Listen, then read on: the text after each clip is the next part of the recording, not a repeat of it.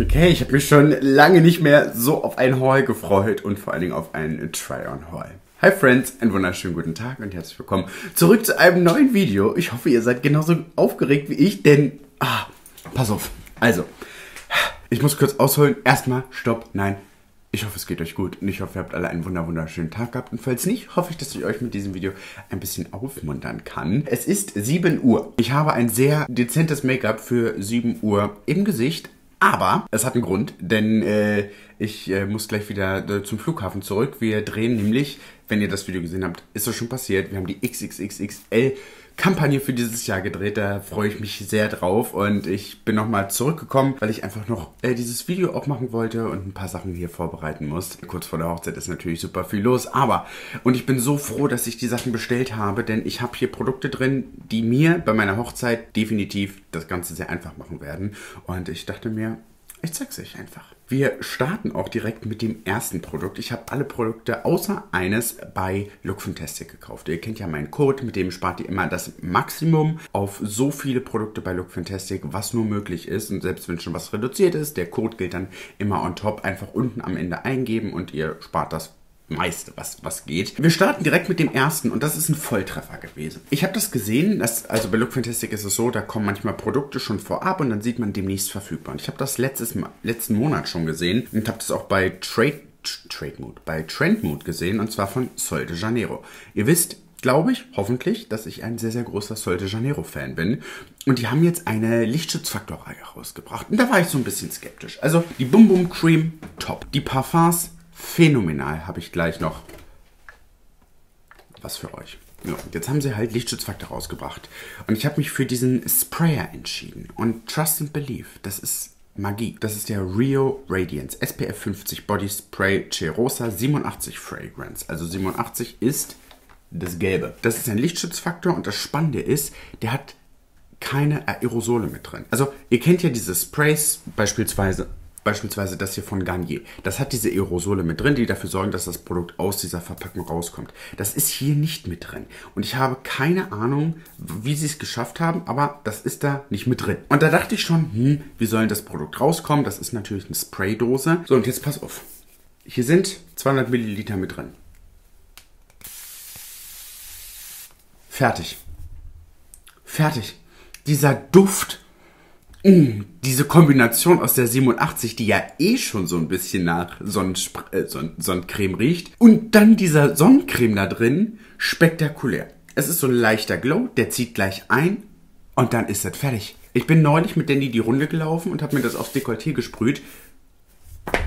Fertig. Sieht jetzt noch ein bisschen viel aus, das muss natürlich kurz einziehen. Aber dann ist das spektakulär. Und es gibt, es gibt keine Ausreden mehr es gibt keine Ausreden mehr, seinen Körper nicht einzukriegen. Und ich muss dazu sagen, ich bin auch so eine Maus.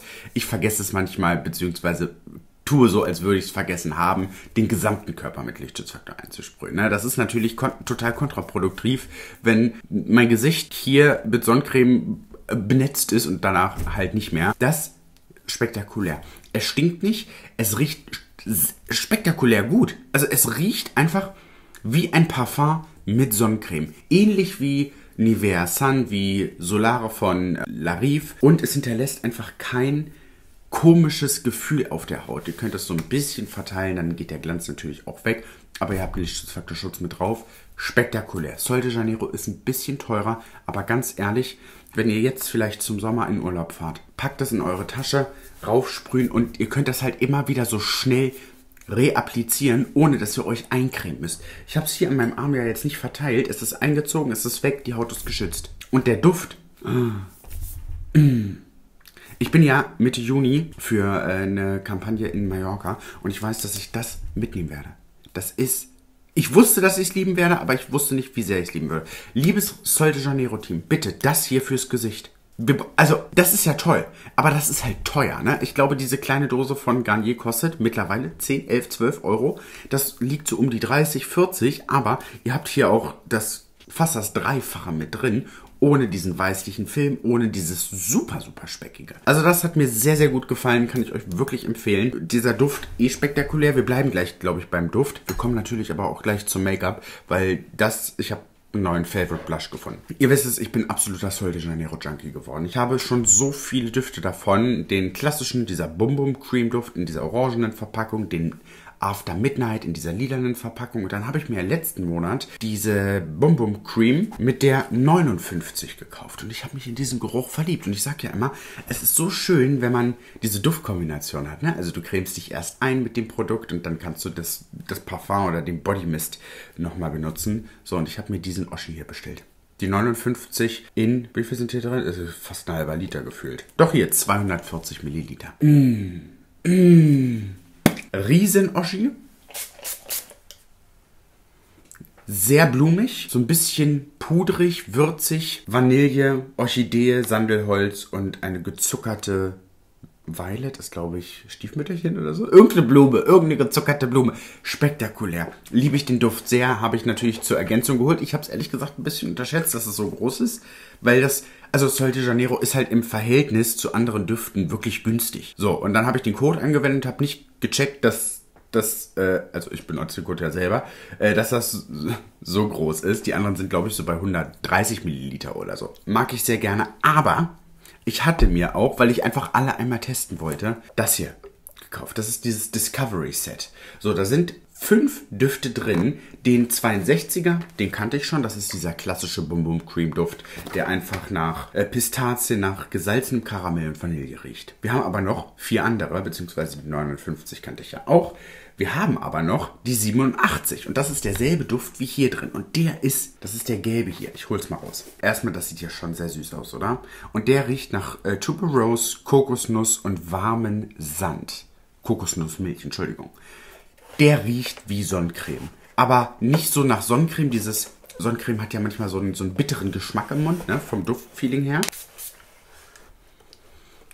Sehr sommerlich, sehr leicht. Die Kokosnuss kommt da sehr stark raus, wie ich finde. Also die hätte ich sogar fast an erster Stelle gesetzt. Spektakulär gut. Die 6 von 68, das rosa, ne?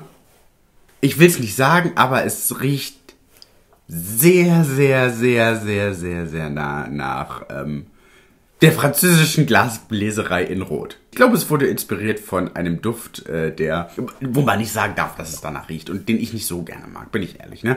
Also das ist nicht mein Favorite. Das hat wieder dieses. Mh, hm, ich finde es ganz spannend, weil sie diese eine DNA des Duftes als Meeresluft bezeichnen und ich verstehe es. Es hat so ein bisschen was Salziges. Dieses würzige, dieses, dieses herbe, salzige kommt hier auf jeden Fall mit durch. Das ist krass, ja jetzt, das ist so lustig, wenn, wenn man es liest und dann, dann merkt man es. Also es riecht nach Salz, nach Drachenfrucht, es riecht wie Rot, 360 oder 860 oder so. Sehr, sehr ähnlich. 82, das kennen wir, das ist der klassische Bum-Bum-Duft. Pistazie, gesalzenes Karamell und Vanille. Perfekt. Mmh, perfekt für unterwegs. Und wo, wisst ihr, ich, ich, was ich an Sol de Janeiro so mag, das ist so das gibt mir so ein bisschen Victoria's Secret Body Mist Vibes, aber auf einem anderen Level, auf einem luxuriöseren Level, obwohl die so günstig sind. Und diesen Duft, es, es gibt niemanden, der es schafft, diese Düfte eins zu eins genauso zu machen. Und einfach, einfach toll. Aber, und das war der Volltreffer für mich, ist auch die 40, dieses Pinke. Wir haben schwarzen Amber, Vanillehölzer und Moschus. Mmh. Und wisst ihr, woran mich der erinnert? Hieran. Erinnert ihr euch, vor zwei Jahren hat Trended Up aus diesem Adventskalender diesen Body Mist rausgebracht. Ein echtes Christmas Must-Have. Es riecht fast genauso und das freut mich natürlich sehr, weil das gibt's nicht mehr und ich habe mir das aufgehoben. Das ist mein Sample für irgendwann. Mein, so, ich möchte irgendwann mal so ein Parfum rausbringen. So, brauche ich jetzt nicht mehr, hat sich erledigt, weil gibt es schon spektakulär. Und du kannst sie alle miteinander mischen. Du riechst nicht wie, weiß ich nicht, wie Douglas, sondern du riechst einfach fruchtig und holzig und sommerlich. Sol de Janeiro ist für mich die Sommerduftmarke, weil es nicht zu schwer ist und die Düfte, die sie verwenden, so frisch und gemütlich sind. Ich hatte gestern den gelben mit dabei im Flieger, kannst ja mit reinpacken, hier sind 30 Milliliter drin. Also, wenn ihr die Düfte noch nicht kennt, das Discovery Set lohnt sich halt, ne? Und 30 Milliliter, die halten gut, die Düfte. Die halten gut. Macht mich sehr stolz. Ich habe nur ein kleines Problem. Auf meiner Duftreise, auf, auf, Ich würde euch so gern schon so vieles erzählen. Äh, okay.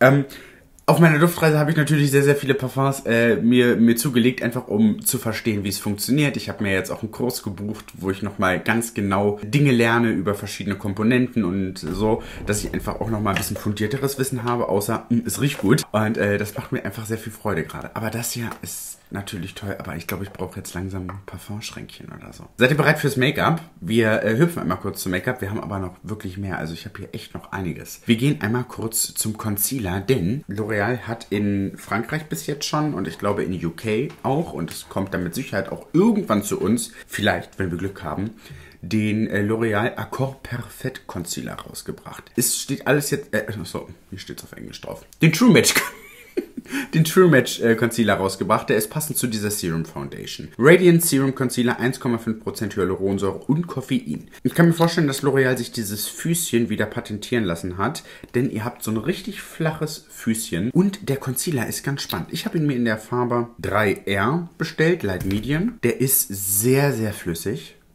sehr leicht, aber trotzdem gut deckend. Also das kann ich mir vorstellen, ist ein Concealer, falls ihr vielleicht texturiertere Haut unter den Augen habt, vielleicht ein paar Fältchen oder so, dass der sehr, sehr gut funktioniert. Ich meine, Claudia hat ihn auch schon getestet und Claudia hat gesagt, dass er, das war ein ganz spannendes Wort, nicht nennenswert in die Fältchen gerutscht. Es hat mir sehr, sehr gut gefallen. Für mich ein bisschen zu wenig Deckkraft. Ich habe ihn zweimal aufgebaut und dann bin ich zu diesem Ergebnis gekommen, was auch völlig ausreicht. Und das ist das Schöne bei Look Fantastic. Ihr kriegt da halt Produkte, die es jetzt hier noch nicht gibt, kriegt ihr dort schon und dann halt auch noch ein bisschen günstiger. Kann ich mir sehr, sehr gut vorstellen und dafür habe ich es dann auch benutzt, um vor allen Dingen so ein bisschen hier einfach zu korrigieren. Dadurch, dass der so leicht ist, kannst du ja einfach den immer wieder aufbauen und auch auf die Haut geben, wenn du vielleicht noch keine Foundation drauf hast. Einfach um so ein paar Punkte zu kaschieren, um das Hautbild ein bisschen ebenmäßiger zu machen. Dafür fand ich ihn sehr, sehr, sehr, sehr gut. Aber jetzt, da müssen wir einmal drüber reden, weil damit habe ich nicht gerechnet und das ist kein neues Produkt, aber jetzt halt neu bei Look Fantastic gewesen. Deswegen habe ich es mitbestellt. Von meiner guten Freundin, der Natascha Denona. Die hat ja diese My Dream Kollektion rausgebracht, ne? Also so Produkte, die sie für sich gemacht hat, weil es ihr ihre Traumfarben waren. Unter anderem den My, My Mini Dream Blush. Kommt in dieser Verpackung wirklich eines der günstigeren Produkte von Natasha Denona. Und was für eine wunder, wunderschöne Farbe. Wenn ihr es genauso leid seid wie ich, diese extremen Blushes zu haben. Pink und Orange und Lila und was weiß ich. Das ist ein trauriger Sad Beige Blush aber nicht so traurig, sondern so farblich so passend, dass du den auch so, da habe ich es jetzt eben gemacht, ich habe den einfach so ein bisschen hier hingegeben, wo ich auch meine Kontur hingeben würde, weil der einen sehr hohen Blauanteil, einen sehr kühlen Anteil hat, der niemals zu viel wird. Da kannst du eine Stunde aufbauen und du hast nicht zu viel Blush mit drauf. Der ist nicht so stark pigmentiert, der ist sehr erwachsen. Das ist meiner Meinung nach einer der erwachsen, erwachsensten Produkte, die ich kenne. Von Natasha Denona. Zwei Farben Blushes, kannst du natürlich auch mischen und matt. Und wenn du möchtest, mischte dir einfach den Highlighter damit rein oder, so wie ich es gemacht habe, ihn punktuell eingearbeitet. Ein ganz, ganz, ganz, ganz toller Ton. Sehr reduziert, lässt sich gut aufbauen. Den kannst du auch so ein bisschen übers gesamte Gesicht geben. Für so ein bisschen Farbe, dass das Leben wieder zurück ins Gesicht kommt, wenn man eine sehr deckende Foundation benutzt hat. Aber einfach nicht so laut und nicht so schrill. Ganz, ganz, ganz, ganz toll. Kann ich euch wirklich wärmstens empfehlen. Schönes Feeling auf der Haut. Natascha Denona, ne? Da brauchen wir nicht. Da, das ist. Da, da, also, ich habe noch nie einen Flop von Natascha Denona gehabt. Noch nie. Habt ihr mal einen, wirklich, wirklich einen Flop bei Natascha Denona gehabt? Schreibt mir das unbedingt in die Kommentare. Wir bleiben gleich bei Natascha, denn passend zu diesem Blush gibt es natürlich auch die Lidschattenpalette, die My Mini Dream Palette. Fünf Farben sind mit drin. Also das ist ja wirklich eine spektakuläre Farbzusammenstellung. Hätte auch Maxim Giacomo draufstehen können. Reduziert, erwachsen, sehr, sehr gut pigmentiert. Mir ist der Ton hier schon fast zu stark pigmentiert, um ihn als Lidschatten zu benutzen. Ich habe ihn dann sehr, sehr leicht aufgetragen, um ihn so ein bisschen als Verdunklung oder auf die Wasserlinie. Ich habe das vor zwei Stunden gemacht, das Make-up ist immer noch auf der Wasserlinie. Schimmertöne, cremig, leicht. Wir haben jetzt nicht diese besonderen Natascha Denona Texturen mit drin, die ja so ein Hybrid aus Creme und Puder sind. Das sind die klassischen Pudertexturen. Aber klassisch ist halt nicht schlecht, ne? Also ihr habt, oh, alter Schwede. Das ist schon fast nass. Das ist fast nass, diese Farben. Sehr pigmentiert, langlebig. Es reicht ja auch, wenn du dir eine Farbe davon aufträgst also, ne, das ist ja jetzt schon sehr viel. Ich dachte, komm, Maxim, heute gibst du mal ein bisschen Gas wieder, machst du mal ein bisschen was äh, Schöneres ins Gesicht. Tolle Palette im Preis-Leistungs-Verhältnis. Natascha Denona, ja, auch hier, ne, ist ein bisschen teurer. Aber erstmal, ich sammle diese kleinen Mini-Paletten und die hat mir jetzt auch noch gefehlt. Und die sind halt einfach gut. Gerade wenn man vielleicht im Alltag einfach überfordert ist von so einer großen Palette, dann sind diese kleinen 5er, 6er Paletten einfach immer perfekt. Du hast immer eine Auswahl mit dabei. Du kannst eine Farbe benutzen, du kannst die alle Farben miteinander kombinieren. Und das ist, glaube ich, eine meiner liebsten jetzt von Natascha, von diesen Mini-Paletten, weil sie einfach so vom Farbschimmer nicht zu warm, aber auch nicht zu kühl ist. So ein genaues Ding dazwischen. Wir gehen noch einmal kurz äh, zu Skincare rüber. Ich habe ein Produkt wieder nachgekauft, mittlerweile das vierte oder sogar fünfte Mal schon von The Ordinary, dieses pinke Serum, Soothing and Barrier Support Serum mit Lipiden, Vitamin und Phytotechnologie. Das ist dieses pinke, ich lasse das jetzt zu, weil ich habe noch eins, das ist noch halb voll, möchte ich auch nicht mehr darauf verzichten, deswegen kaufe ich es auch immer wieder nach. Genauso wie ich das jetzt das zweite Mal nachgekauft habe. Und zwar ist es aus der Haar Pflegelinie oder Haarpflegereihe von The Ordinary das Multipeptide Serum für Haardichte. Ein konzentriertes Serum für Haar, welches dicker, voller und intensiver aussieht. Hat mir gut gefallen. Ich glaube, dass, also bin ich ehrlich, ich kann jetzt nicht sagen, das hat mir die Haare gerettet, aber die Kombination aus dem, die Minoxidil und einfach einer sehr reduzierten Haarpflege Prozedur mit weniger Produkten, ich style sie weniger, ich wasche sie weniger, habe ich wirklich, ne, ihr seht das ab und zu, dass hier dieses, dieses, dieses Gelump langsam wieder kommt. So ganz, ganz kleine, pupselige Haare, die sehr dünn sind noch. Und das habe ich durch diese Reihe einfach hinbekommen. Ne? Und so kann ich mir vielleicht echt noch, mein Gott, ich hätte es nicht gedacht, noch ein bisschen Istanbul weiter aufschieben. Und das habe ich nochmal mitbestellt. Das fand ich nämlich auch ganz spannend. Das ist das Hyaluronsäure plus B5 Serum. Es erinnerte mich sehr stark an das von La Roche-Posay, auch vom Feeling auf der Haut. Es wird ein bisschen klebrig. Ich würde das nicht unbedingt vorm Make-up benutzen. Also das ist etwas, wo ich sage, nee, das ist mir zu klebrig und die Chance, dass es diese Würstchen unter Make-up macht, ist mir da zu hoch. Deswegen benutze ich das jetzt einfach nur mal abends. Ich habe es jetzt auch schon benutzt. Ein schönes, volles Gefühl. Ihr wisst es, ich benutze immer ein, ein Thermalwasser in Kombination mit dazu. Dann kann es einfach tiefer in die Haut penetrieren. Und B5 beruhigt natürlich auch noch mal ein bisschen. Also The Ordinary muss ich sagen, ich finde es ganz spannend, weil The Ordinary sehr, die werden jetzt so ein bisschen mutiger. Ne? Vorher hatten wir immer so Wirkstoff, Wirkstoff, Wirkstoff und das hat viele vielleicht einfach ein bisschen verwirrt. Und jetzt kombinieren sie einfach Wirkstoffe, die viel anwenderfreundlicher sind und womit man einfach viel bessere Erfolge erzielen kann im einfachen Gebrauch, wenn man kein Profi ist, wie wir alle ja sind. Deswegen gefällt mir das sehr gut. Ein Produkt, was ich jetzt noch neu habe, das habe ich nicht bei Look Fantastic bestellt. Das teste ich gerade, das ist dieser Milky Toner. Ich habe ihn heute einmal aufgetragen, hat mir vom ersten Eindruck her sehr gut gefallen, muss ich jetzt aber einfach nochmal testen. Und ihr kennt ja diesen Dream Code von Color Wow, ne? Ist ja das Produkt des Jahres gewesen. So, und jetzt habe ich mir das hier bestellt, weil ich benutze ja immer so ein Volumenpuder. Und das Problem bei diesem Volumenpuder ist, dass die Haare einfach so strohig werden. Ne? Die werden so richtig, richtig trocken und das saugt so das Leben aus den Haaren raus.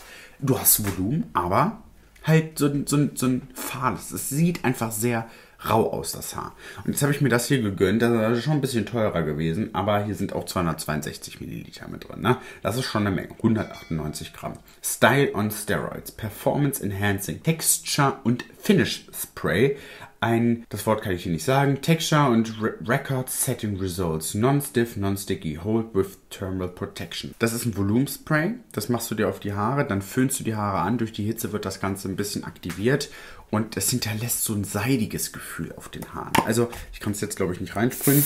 Die Haare fühlen sich so ein bisschen glatt an. So ein bisschen ähnlich, ähnlich wie dieses L-Net Haarspray. Aber halt mit Griff. Also die, das gibt einfach Griff. Und wenn du jetzt einmal durchföhnst, durch die Hitze wird das aktiviert irgendwie. Hat mir gestern gut gefallen, hat auch sehr, sehr gut gehalten und die Haare sehen danach einfach nicht platt aus. Ne? Es reicht ein kleines bisschen vielleicht an den Ansatz. Das teste ich aber nochmal aus. Und gerade bei diesen teuren Produkten lohnt es sich natürlich immer mit, ähm, mit einem kleinen Rabatt. Also schaut unbedingt einmal bei Look Fantastic vorbei. Das war wirklich, glaube ich, einer meiner liebsten Hauls absolut spektakuläre Produkte. Gerade das hier. Ach nee, komm, alles. Eigentlich wirklich alles. Ich bin gespannt, was ihr dazu sagt. Vielleicht habt ihr eins dieser Produkte auch schon getestet. Dann schreibt es mir unbedingt in die Kommentare. Ich bin super gespannt. Ich freue mich auf eure Nachrichten und Kommentare. Für mich geht es jetzt gleich zum Flughafen. Ihr süßen Mäuse.